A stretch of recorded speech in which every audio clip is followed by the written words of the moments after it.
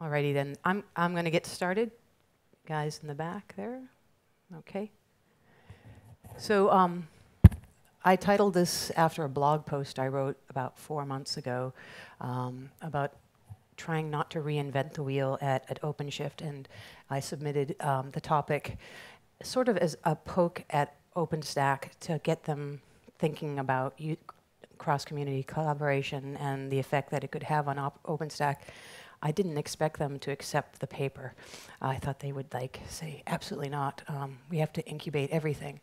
So I'm going to talk a little bit. My name is um, Diane Mueller. I work at Red Hat. I am the OpenShift community manager. Um, I am a, a, bad Python programmer. I was in love with Django when Twitter came out, so I conglomerated the two and came up with my hash.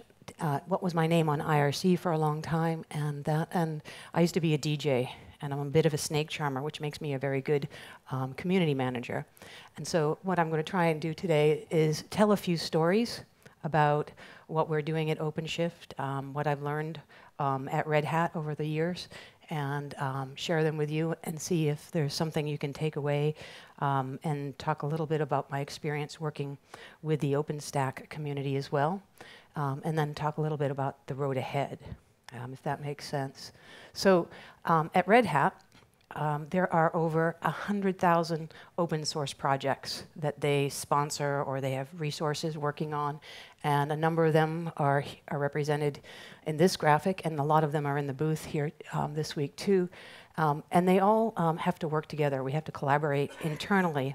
So we do a lot of internal collaborations. And the project that I work on is OpenShift Origin, which is a platform as a service that runs on infrastructure as a service, which is what OpenStack is. It runs on Amazon, it runs on bare metal, it runs on CloudStack.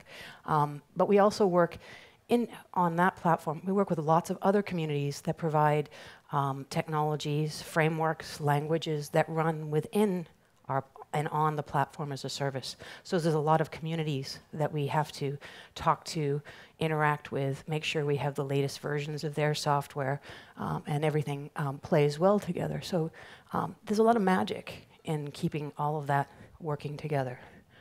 Um, but I'm going to tell you a little bit about my background is I started a long time ago. Uh, my first job out of university was working for a small company called Nike in Hillsboro, Oregon. And my job at the time was designing the, the software and using the software that designed the bottoms of your sneakers back in the early 80s. So it was the feeds and speeds and all the math and stuff like that. And every bit of that software, it was the same software that was being used at um, McDonnell Douglas Aircraft to design aircraft parts. So when I went for training, I would train with the same guys that were, um, they were designing airplane engines and I was designing sneaker bottoms. It was slightly a, a different world, but everything about that was proprietary. And then um, a revolution came. How many of you have read The Cathedral and Bazaar? If you haven't, you should. It really changed the way that I looked at and um, the world looked at software. So open source became sort of a revolution. And then another revolution happened with all that software being available, and software started being the thing that was driving organizations and giving us the ability to bring new services and new software into, um, into the world for us. And then cloud came and it changed everything again and the combination of cloud uh, computing and OpenStack, the open source stuff, has really changed the way um, my world looks because now the same software that I was using 30 years ago to, to do sneaker bottoms and create those molds, I now have um, 3D printers at home can, that I can do the exact same thing on. And a lot of that is based on open source software as well. So everything completely changed in the way that I looked at software from where I started in the proprietary world because of two, I say, major shifts open, open source and cloud computing. The other thing, I, I tell a lot of stories. So, um, how many of you have heard the story of Stone Soup? All right, it's an oh, my dad. My dad is German, and um, he used to read this book, this exact book to us when we were kids. It's a story of a soldier that comes to a town and he has a rucksack on his back and he has one rock wrapped in paper and he brings it to the town commons and he coerces the, the the folks there to build a fire and put a kettle of water on. And he says, I can make this magic soup for you. I will put this stone into the water and it will become the most amazing soup in the world. And this, the story goes on, and he, uh, farmer walks by, has a handful of carrots, and he talks to, the, he says, well, it would be so much better with a few carrots in it, and a few, and the, the the butcher walks by with a ham bone, and, and eventually you get the picture. He, he coerces and works through um, getting all of these people to add to his project the soup. And in the end, he has a bowl of wonderful soup, and he shares all that soup with everybody. And they, that's the lesson that I grew up with. And that's kind of how I think of community. Is you, it's a lot about communication. Um, some of it's coercion, but it's all about doing something that benefits everybody in the end. But someone is driving it, someone is moving it forward, and someone has to instigate it and bring something to the table to get it started and kicked off. The other book that I really love, and how many of you have read Mythical Man Month? Good. So this sort of dates me. I think it came out over 25 years ago.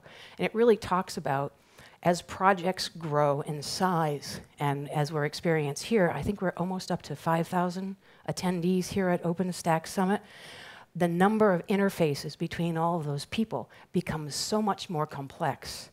And the, the key to success to any project is really the communication that we're able to bring and the facilitation of that communication.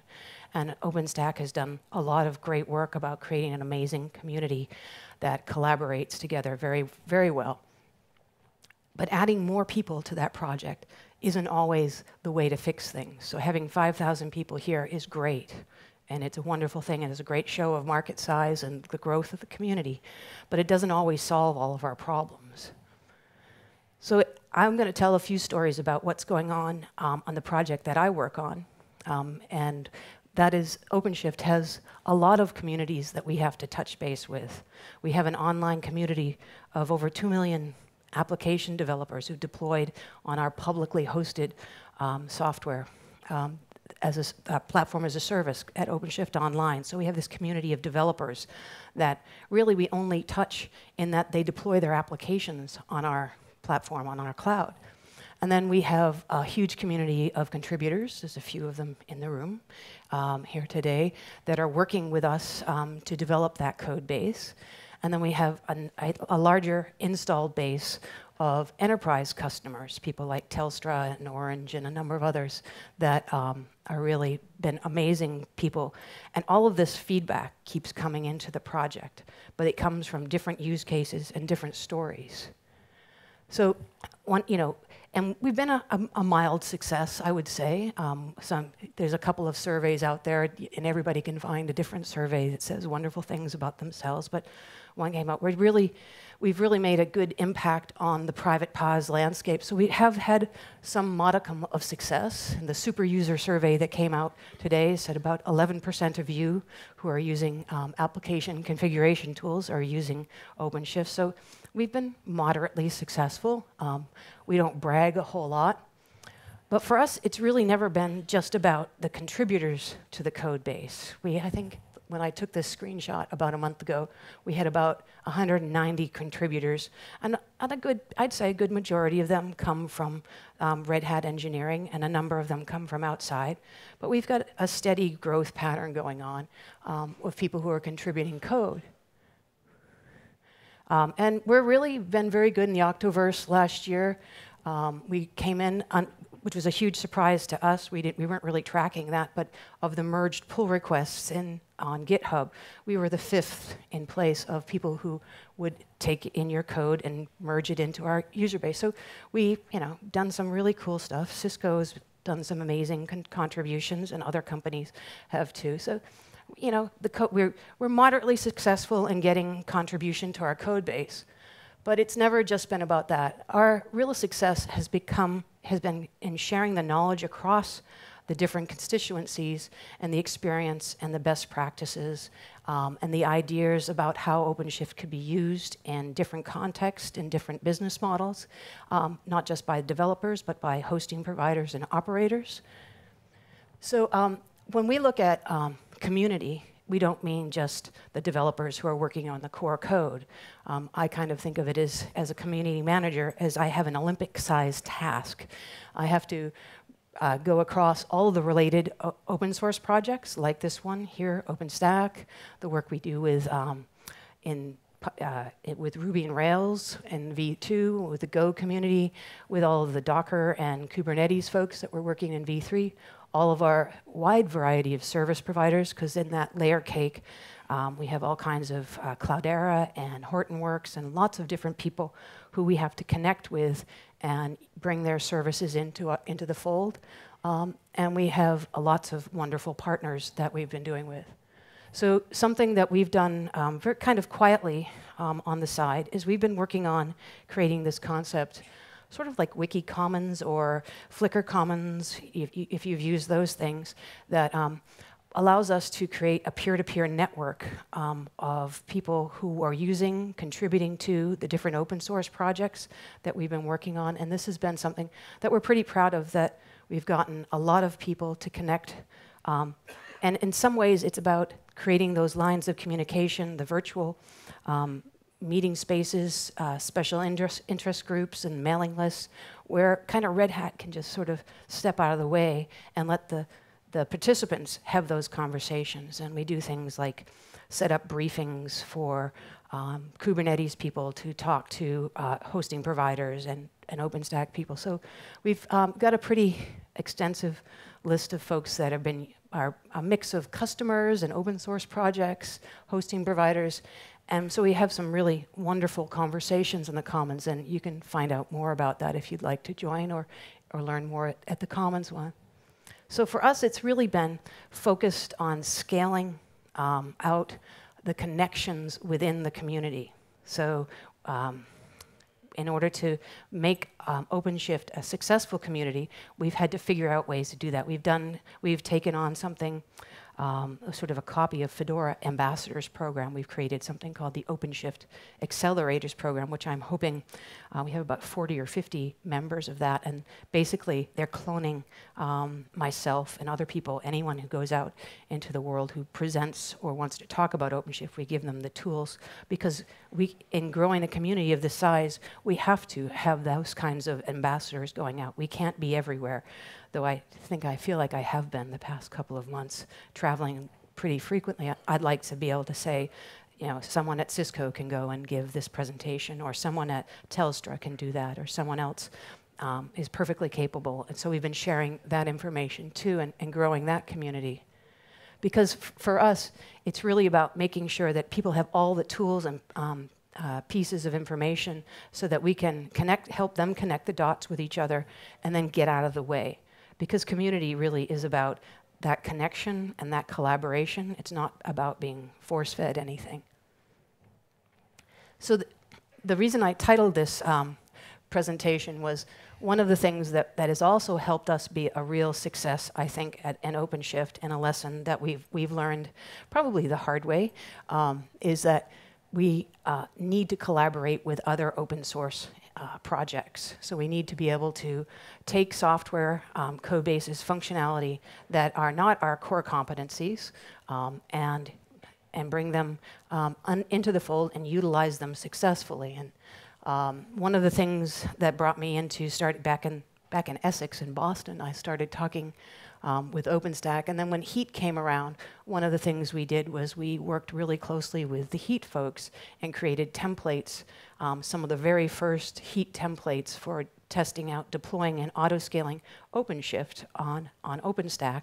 And that gave us a really good understanding of how to make everything work, um, how to spin up Nova um, instances, how to register something with Glance. We learned a lot from that. But they also, in turn, um, the Heat team learned a lot from taking a complex application like um, OpenShift, which has got brokers and nodes and has to spin those things up and make sure everything scales. Um, they learned a lot from it too. So that collaboration was really helpful for us to make sure that we played well with the tooling that the OpenStack community wanted us to use, the, the local orchestration stuff. Um, and we didn't do any reinvention, but we both learned from each other.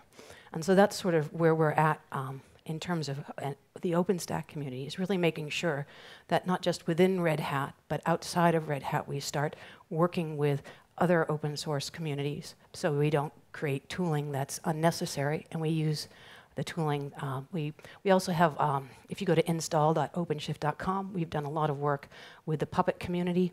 Um, so we have, we try and use the tools that exist um, in your enterprises and in your development shops today rather than reinventing the wheel.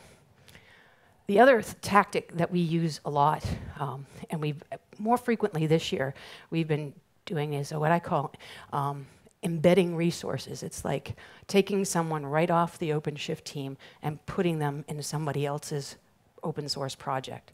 And this works really well. Um, OpenShift v3, if you didn't see the presentation the other day, it's videotaped, but it's a complete rewrite of um, OpenShift in a new language, Go. So we were Ruby and Rails. We rewrote it in Go, um, which is great if you didn't like installing Ruby and creating Ruby gems on your desktop for the CLI to work. That's gone now. Um, but we, we ended up using a new language. Um, everybody's favorite topic this week, apparently, is, is Docker. We took a lot of um, Red Hat resources um, from the RHEL team and from the OpenShift team and embedded them and put them right into the Docker community to work on things like bringing SE Linux and security um, into Docker and working to make sure that we understood where Docker was going and how it was working so that we could then use Docker containers in V3 successfully. So this trade-off between different groups has really gotten a lot of um, helped us a lot move to the next generation. Had we not, had we continued down the path of using and baking our own containerization approach, we probably um, would be uh, a very stale product at the moment. The other thing that we've done, and um, we're continuing to do, is to work very hard um, with, uh, with the Kubernetes community as well. And I think we have Clayton Coleman from the OpenShift team has now got commit rights and has, is probably one of the most, probably the hardest working person I've ever met, but has done tons of um, commits and into the Kubernetes project, and they've been very good about bringing that and allowing us to work with them um, and learn from their um, production scale capabilities to bring that into uh, the OpenShift world. So again, it's like Google has open sourced an, an, an amazing um, project um, they've, they've learned they're sort of opening up the kimono on everything that they know about scaling containers, and we're being able to take that in and move our, our offering to the next level of scaling capabilities. And it's been pretty, a pretty amazing ride, and it continues to be. Uh, project Atomic is a Red Hat sponsored project um, that um, we're using pretty heavily as well inside of um, OpenShift, so we're learning about getting that lightweight level of OS available too. So there's, we do a lot of work with them. There's a SIG that we have now that's a special interest group that's with RHEL, Atomic, and OpenShift. Um, if you're interested in that, those three groups are all helping um, each other to, to use that and embed it. We do incubate some things. And incubation is, is, is, a tricky subject, and it can be kind of touchy sometimes. Um, we, we have a, a, small project called Gear D that is meant to help, if you have a Docker container, help you wire it up so it can be aware uh, and build Docker containers. Um, the trajectory of Gear D is I, am betting um, that it will be consumed and, and that functionality of it will end up actually being consumed into another project, maybe into Kubernetes um, itself at some point. So we, it's not that we're against um, incubating stuff within the open source, because the Gear D stuff is in the OpenShift repo. And there's a few other small OpenShift extras that are in there. So when we need to, we will build new functionality in. And, and but but our, our ethos is more of trying to figure out how we can do that um, not that we're trying to offload the work into other communities, because we'll put the resources in there to make sure um, that it's maintained and supported, but really where it's appropriate, because this is um, what allows us, I think, to iterate quickly, to, to re-architect, and to take advantage of new technologies as they come out. And so the, the platform as a service, can, that offering we have, can move forward architecturally rather rapidly because we didn't wire it all up ourselves. Everything's pretty modular. The APIs are pretty um, good so that we can take advantage of other technologies and we don't have to invent all of it here. So there's some trouble with incubation because we really get to, because we do this, um, we do embed some resources, so we do lose some resource time into these other projects, but allows our core engineers to really focus on the value add for our offering um, and for our project, so we're not distracted by trying to figure out how to do orchestration at huge scale. We take advantage of Google stuff. And if you look a little bit at what OpenStack has done, we've got some amazing projects here, and Red Hat has people probably on every single one of these projects. But um, when it gets pretty scary at times, if you start to think about um, all the different pieces and parts of, of OpenStack. And um, I've been you know, playing with it for since the days of Essex for, for quite a while. Um, and, but it, it, is, it is getting better. Um, it's definitely, I think people are starting to look, and yesterday we had a couple of sessions that were pretty good, um, starting to think about how we can really, in turn, change the focus to a more layered approach, and so that we can make sure that at least the lower, the base computer, the base layer, is interoperable in all the distributions, and that it is that we make sure we get all of the different pieces apart. This is a, a photo from yesterday's two sessions. We, they did two back-to-back sessions on growth yesterday in the design summit. Um, and you know, there was a, some debate about the big tent approach. You know, whether we want to have this as OpenStack, this huge big, big tent, and continue to incubate and, and grow new things. And there's sort of an ethos in, in OpenStack of inclusivity. And I think that's because our culture is, tries to be very inclusive and tries to promote diversity. But in some ways, um, the, some of the scaling issues um, of resources um, and people who have core privileges and, and, who are doing reviews on the pieces of that very base layer are, are, are lagging behind, and we're not getting the core pieces or the base layer um, focused on by resources the way that we could because we're distracted by other projects, in my humble opinion. So, a, funny thing happened on the way to the foundation. Um, I, I, stole this picture from Randy Bias's presentation at Silicon Valley because uh, he did a great presentation about not, maybe not the need for a benevolent dictator for OpenStack, but the need for product management.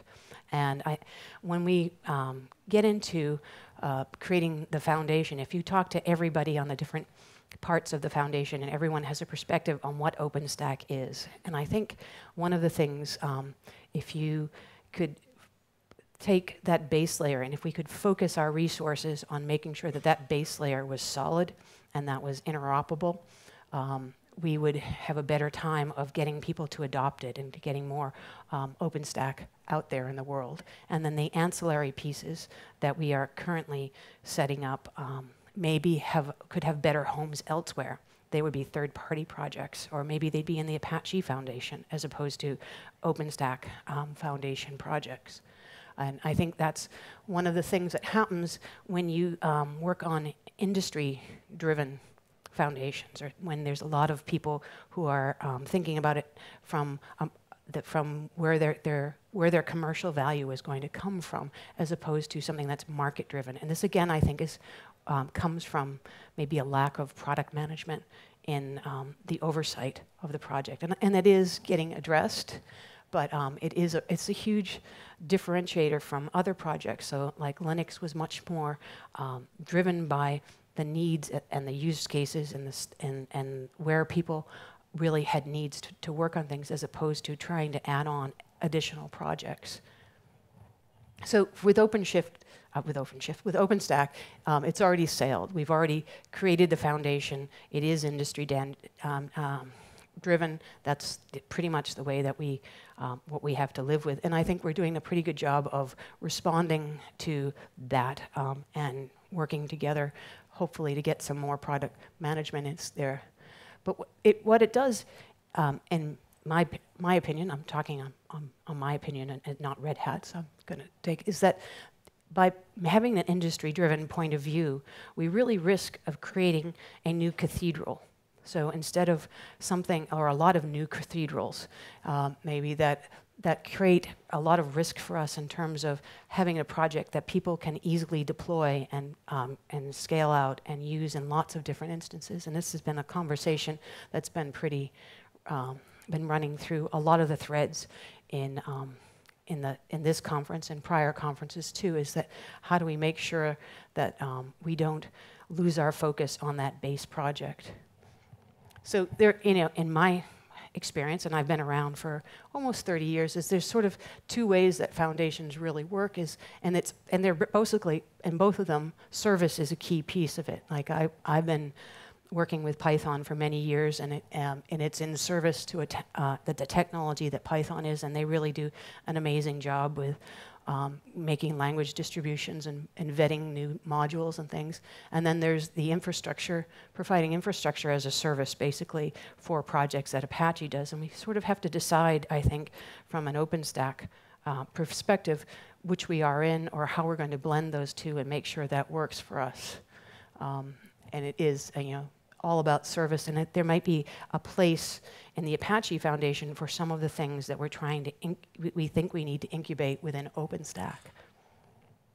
Uh, another thing, um, a lot of the times, most of the other foundations, if you look at the history of Mozilla and Linux, is that um, the foundations came along after the projects had some maturity. There was people wanted to make sure a stable um, well-maintained code base happened and continued to, to be available. So um, I think historically, when choosing for to, to do a foundation or something, you really have to be um, cognizant of what the status of your project is at that point in time.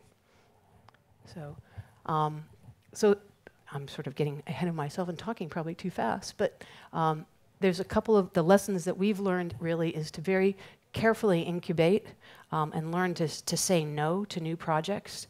Don't try and create new tooling when there's good tooling out there already. Um, talk to your user base, what they want. We have, um, in our case, we use Puppet. We have Ansible installers.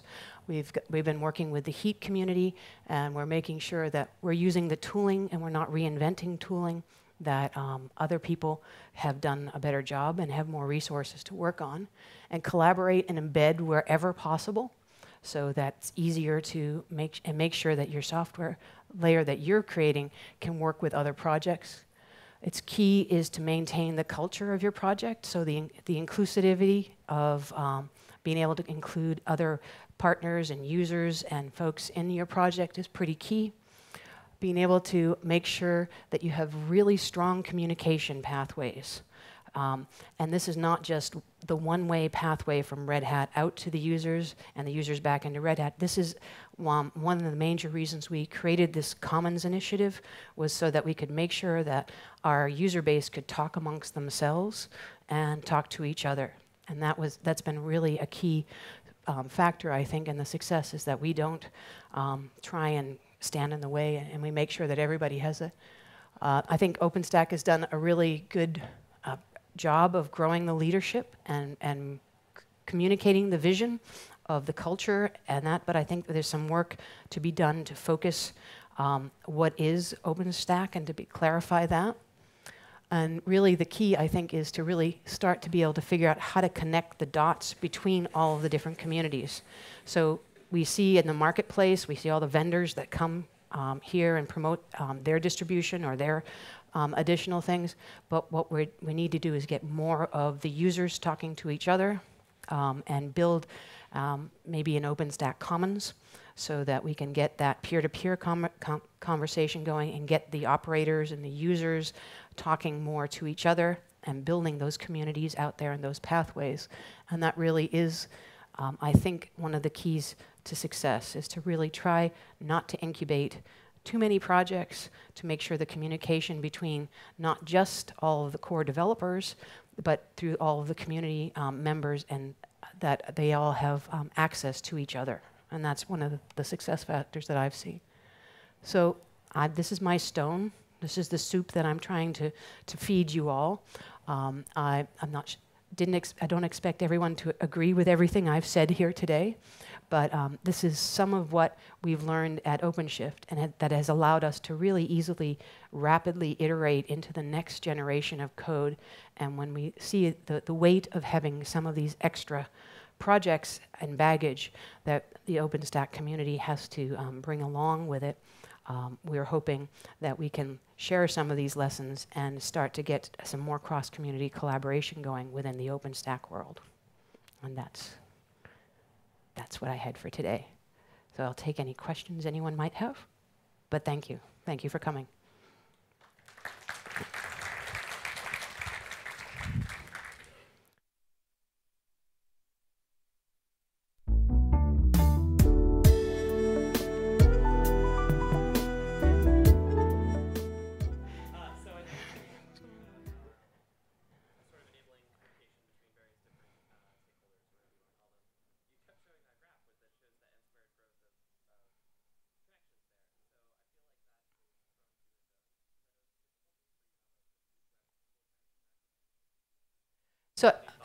Yeah, so I think what, what we've tried to do is set up, we have the contributor code base. We have, um, uh, in, our, in our community, we have a, uh, we have a pretty big um, community of, com- uh, I think about 190 folks that are contributing to the project, and that's very driven a lot by Red Hat product management and myself as a community manager, making sure all of those folks. But what we've done is in, in order to sort of separate those conversations, not keep them separate from each other, but to encourage other communications, is to create this thing called Commons that allows the users to talk to each other and give feedback. And we have like Trello boards and things like that. But we've tried to create um, the virtual with mailing lists for, for different groups, different SIGs and things like that. Give them the, the capability of communicating directly with each other as opposed to being the, the, the bottleneck. Does that that make sense?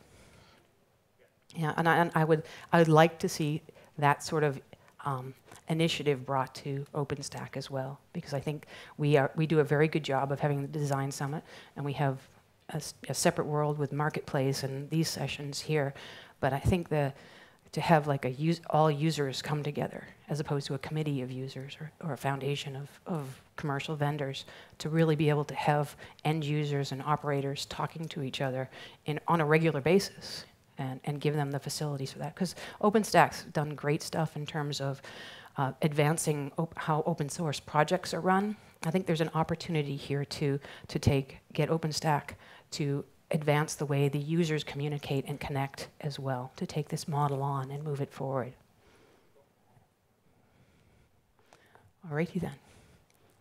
I'll see you all hopefully at the Red Hat party tonight, 7 o'clock, La Faust. All right, thanks.